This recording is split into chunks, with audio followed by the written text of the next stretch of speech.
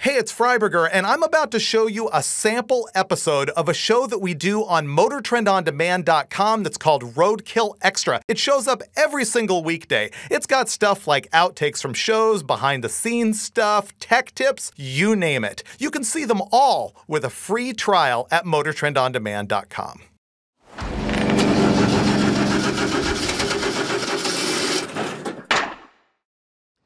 This Roadkill Extra is going to be all about supercharging. This is going to be basics for people who maybe don't understand some of the stuff we do on Roadkill with turbos and big roots blowers and stuff like that. So first of all, what is supercharging? Basically, it's anything that you can do in order to cram air through an engine at a pressure that is above atmospheric. So a Roots supercharger is a supercharger or a blower. A turbo is a supercharger. A lot of people don't think of it that way. And a centrifugal supercharger is a supercharger, once again often called a blower. The thing is that they work different ways. The Roots blower, which is one of my personal favorites, even though it's the least efficient, it's the best looking, as you can see here on the Crusher Impala. Uh, it is what's called a positive displacement supercharger because as the belt, which is driven by the crankshaft, turns the supercharger, it turns two rotors that are inside the blower. They turn like this, and there's three lobes that interact with each other to push air through the thing. And for every one revolution of the blower, it displaces in this case, because it's an 871 supercharger, it displaces 448 cubic inches of air. So as RPM increase and it's cramming all that air through there, regardless of RPM, it's 448 cubic inches per revolution, but boost goes up as RPM goes up, and that's how it makes power. So why does an engine make more power if you're forcing air through it? Well, it doesn't if you're only forcing air through it. The thing about this is that with more air crammed into the engine, it means that you can draw more fuel into the engine. I've previously explained that the reason why a higher compression ratio engine makes more power is that it takes all of that air and compresses it into a smaller space with the fuel molecules and puts the fuel molecules closer together so that it's a more violent explosion. Where in this case, it's actually adding more fuel molecules and more air. So a lot of people think of it as having an increased effective compression ratio, but I don't think that's really the case. And this is an interesting science, and this is really just sort of my theory off the top of my head, and I can't call it accurate, but it's what I've sort of derived. People will say that if you've got a supercharger at say 10 pounds of boost that it'll take your engine at say 8.5 to 1 compression and make it behave like an engine that has 14 to 1 compression. I find that not to be the case. It actually has a better torque curve than a naturally aspirated engine and also the supercharged engine could tend to run on lower octane pump gas, whereas the high compression engine won't. And I feel that the reason is that it's bringing more air in and more fuel. And that is the key to preventing the pre-ignition or detonation that you might have if you have just high compression and natural aspiration. And so that's what makes superchargers really cool, is that they make a ton of bottom end torque the root style does. Now, the thing about the others, the turbos and the belt-driven centrifugal supercharger, which is kind of like a belt-driven turbo, is that their rate of boost increase is much more radical as RPM increase, whereas this is a little bit more linear.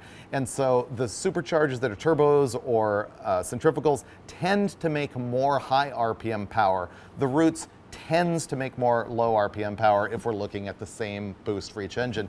The reason that the Roots is far less uh, efficient is because it can take 50 to 100 horsepower just to rotate the blower. So it's killing that much horsepower while it's making horsepower by shoving air. So the cylinder's making a whole lot of power, it's just that it's not all making it to the flywheel because it's getting eaten by the parasitic loss of the blower itself, and obviously you just don't have that with the turbo.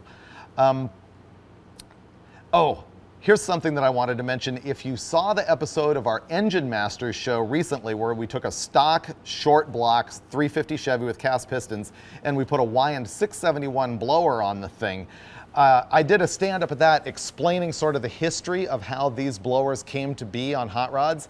And I mentioned that it was a GMC supercharger, that it originally came on diesel engines. And a lot of people tried to correct me saying, You're wrong. That's not a GMC, that's a Detroit diesel. Well, here's breaking news.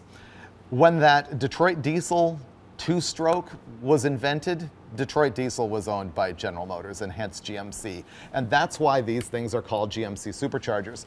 They were originally used on those two stroke diesels for what's called uniflow scavenging. And this is where I'm really going to go off the reservation because I will admit I don't understand diesels. But my understanding is that what the blower does in that application is when the valves are open as the pistons uncover them and when the exhaust valve opens, it is blowing the exhaust clear through. So it's really more for scavenging and not as much for making boost pressure as they are in this application. And a guy named uh, Barney Navarro is generally recognized as being the first guy to take one of those GMC superchargers off a Detroit diesel and mount it to a hot rod. And he used a 471, oh, I take it back, it might have been a 371 or even a 271 supercharger on his uh, Roadster and raced it up at El Mirage.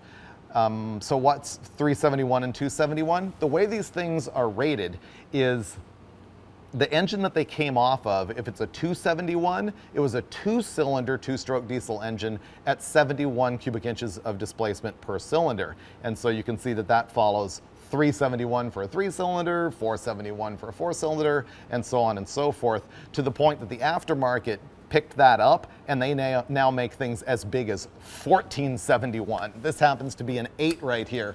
The cases get longer and longer the larger the blower is and the displacement of air gets bigger and bigger. So that's pretty much what you got about the awesome supercharger and hopefully you understand a little bit more about how they make power, which is cramming in more air to cram in more fuel to make a bigger explosion and huge torque and power. And that's what we'll be working on here on the Crusher Impala as I think Steve and I are gonna jerk this engine out and put it on the dyno again to just see if it's still fresh, tune it up. This thing made 700 horsepower at one time. It's a 489 big block Chevy and uh, I can't wait to run it because I love those blower motors.